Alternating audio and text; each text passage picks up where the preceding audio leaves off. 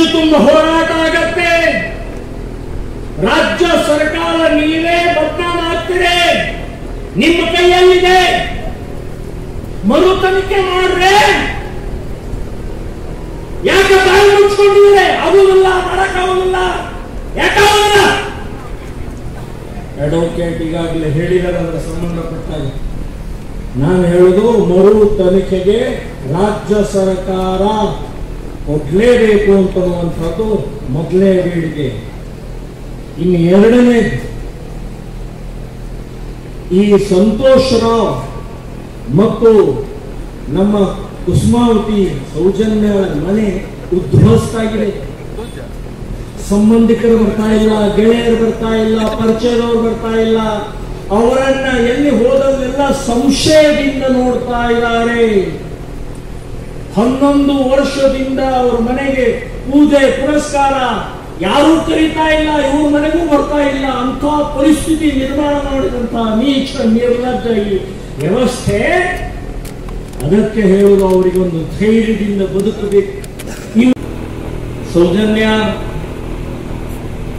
ಈ ಸಹೋದರಿಗೆ ನ್ಯಾಯ ಸಿಗಬೇಕು ಅಂತ ಹೇಳಿ ಹೋರಾಟ ಮಾಡುತ್ತಾ ಇರುವಂತ ಎಲ್ಲರಿಗೂ ಕೂಡ ಶ್ರೀರಾಮ ಸೇನೆ ಸಂಘಟನೆ ಸಂಪೂರ್ಣವಾಗಿ ನಾನು ಬೆಂಬಲವನ್ನು ಸೂಚಿಸ್ತಾ ಇದ್ದೀನಿ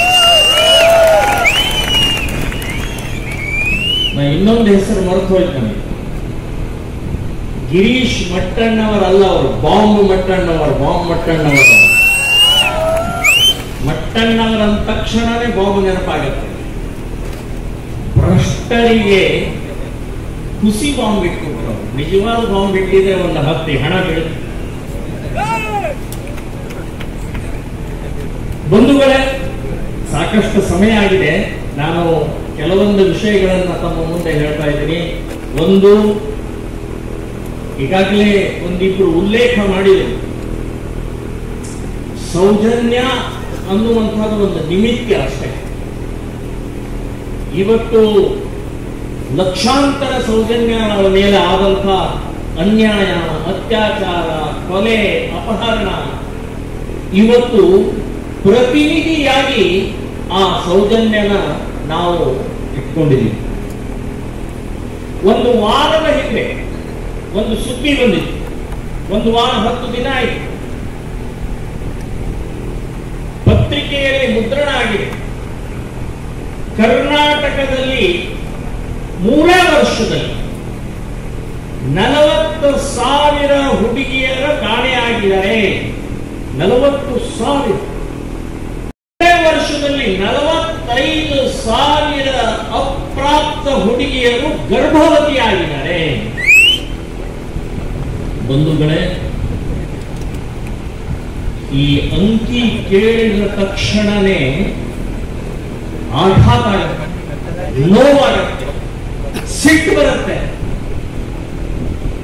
ನಲವತ್ತು ಸಾವಿರ ಕಾಣೆ ಆಗಿದ್ದಾರೆ, ನಲವತ್ತೈದು ಸಾವಿರ ಅಪ್ರಾಪ್ತ ಗರ್ಭಿಣಿಯಾಗಿದ್ದಾರೆ.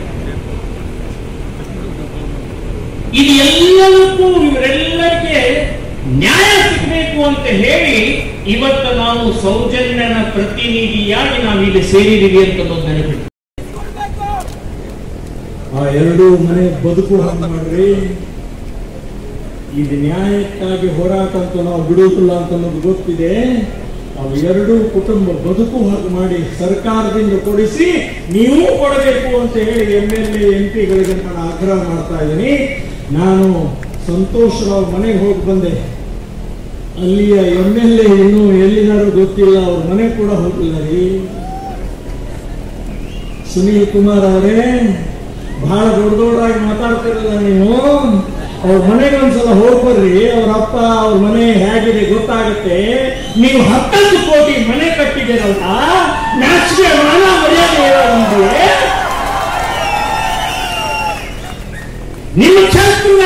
ನಿರ್ದೋಷಿಯಾಗಿ ಮನೆಗೆ ಬಂದಿದ್ದಾರೆ ಅವ್ರ ಮನೆ ಸುಖ ದುಃಖ ಕೇಳೋರಿಗೆ ನಿಮ್ಮ ನಮ್ಮ ಹಕ್ಕಿದೆ. ನೀವು ನ್ಯಾಯ ಕೊಡ್ಬೇಕು, ನೀವು ಅವ್ರ ಮನೆಗೆ ಆಶ್ರಯ ಕೊಡ್ಬೇಕು, ಭೇಟಿ ಕೊಡ್ಬೇಕು ಅಂತ ಹೇಳ್ತೀನಿ ಬರೀ ನೀವಷ್ಟೇ ಅಲ್ಲ ಎಂ ಪಿ ಕೂಡ ಅವ್ರ ಮನೆಗೆ ಹೋಗಿ ಭೇಟಿ ಕೊಡಬೇಕು. ಇನ್ನು ಅವ್ರ ತಂದೆ ಅವನಿಗೆ ಅವನಿಗೆ ತಂದೆ ಎದುರುಗಡೆಗೆ ಶಿಕ್ಷೆ ಕೊಡ್ತಾರಲ್ಲ, ನನಗೆ ಒಂದು ದಿನ ಆ ಐಒ ಐಒ ಯಾರನ್ನೆಲ್ಲ ಒಂದು ದಿನ ನನಗೆ ಕೊಡಿ, ಇಪ್ಪತ್ನಾಲ್ಕು ಗಂಟೆ ಕೊಡಿ, ಅವನು ಕುಂಡಿ ಒಳಗಡೆಗೆ ಬಡಗಿ ಹಾಕಿ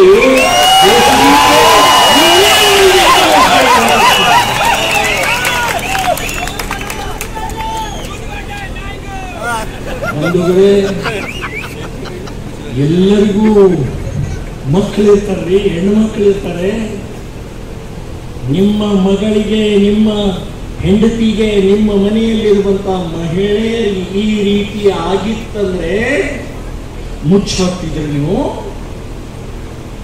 ದೊಡ್ಡವರ ಮಾತು ಕೇಳಿ, ದುಡ್ಡಿನ ಮಾತು ಕೇಳಿ, ರಾಜಕಾರಣಿ ಹರಾಮಿಗಳ ಮಾತು ಕೇಳಿ ಮುಚ್ಚಾಕ್ತಿದ್ರಿ ನೀವು? ಅವಾಗಲೇ ಗೊತ್ತಾಗುತ್ತೆ ನಿಮಗೆ. ನಿಮ್ಮ ಮಕ್ಕಳ ಮೇಲೆ ಈ ರೀತಿ ನಿಮಗೆ ಅಲ್ಲಿವರೆಗೆ ನಿಮಗೆ ಅರಿವಾಗುವುದಿಲ್ಲ ಅಂತ ನೆನಪಿಟ್ಕೊಳ್ಳಿ.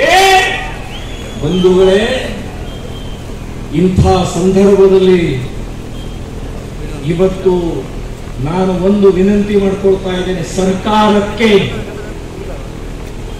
ಈಗಾಗಲೇ ಹೇಳಿ ಸಿದ್ದರಾಮಯ್ಯನವರು ಗೃಹ ಮಂತ್ರಿಯವರು ಏನೇನೋ ಹೇಳಿಕೆ ಕೊಡ್ತಾ ಇದ್ದೀನಿ ನಾನು ಹೇಳಿದ ಅವಸರದಲ್ಲಿ ಹೇಳಿಕೆ ಕೊಡಬೇಡಿ.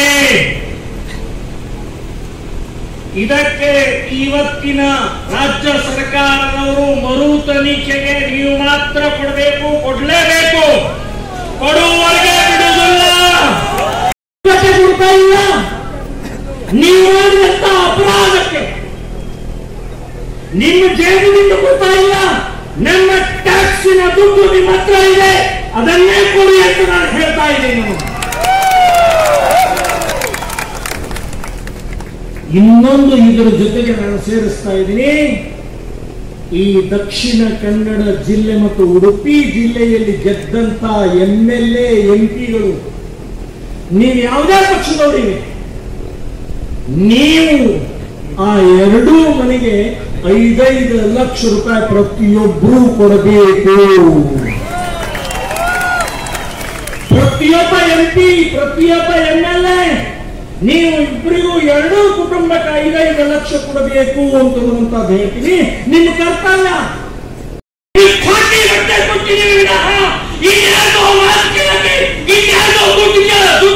ಅಲ್ಲ.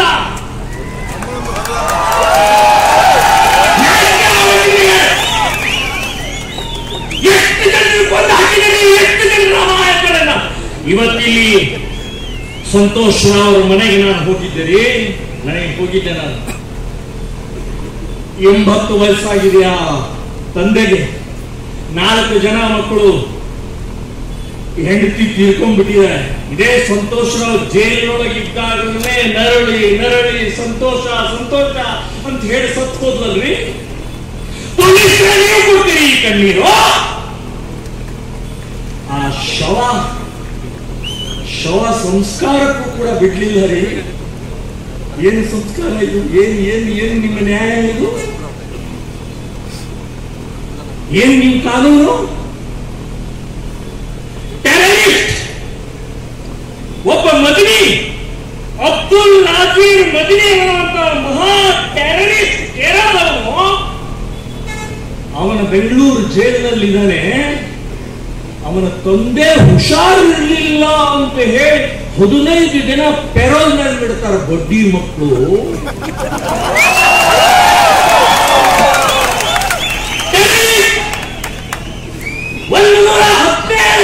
ಒಂದು ದಿನ ಮಗನಿಗೆ ನೀವು ಹುಷಾರಿಲ್ಲ ಅವ್ರ ಅಪ್ಪನಿಗೆ ಅಂತ ಹೇಳಿ ಬಿಡ್ತೀರಿ.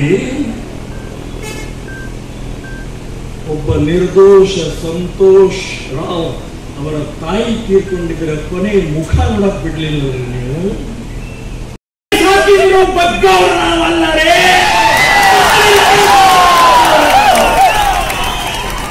ಕೇಸಿ ಹೆದರಿಸ್ತೇವೆ ಕೇಸರಿ ಹೆದರಿಸ್ತೇವೆ ಜೈಲಿಗೆ ಇಲ್ಲೇ ಕಟ್ಟೆ ಕಲ್ಲಿಗೆ ಕೂಡ ಹೆದರಲಾದಂತ ಕಂಡ